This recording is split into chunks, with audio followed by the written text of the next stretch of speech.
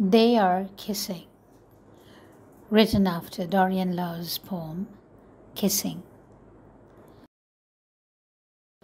They are kissing at gunpoint. They know they cannot be caught kissing.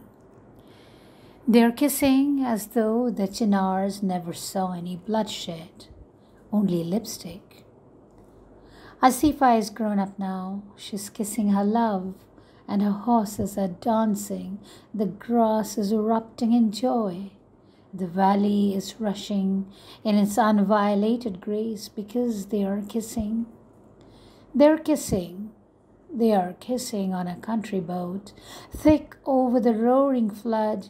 They are making the char silt turn alabaster under their starry eyes and swoon. They're humming their old Mia songs, calling out their firebirds and ghosts, slapping the fish smells onto their tongue, and they are simply kissing.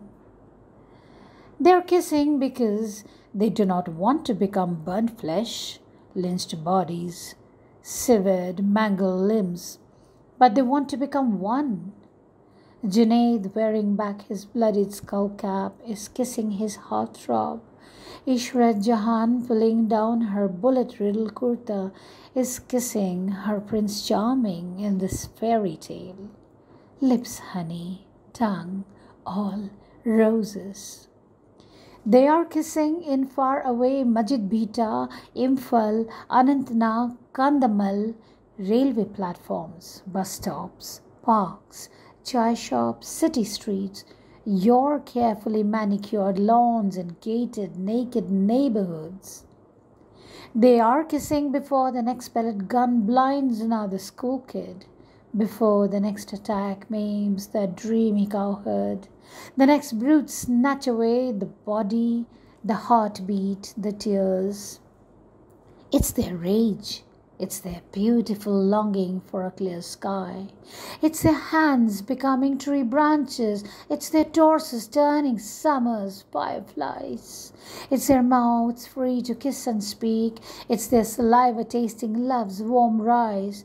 They are kissing right now, in Unnao, in Khammam, in Kunan Poshpora.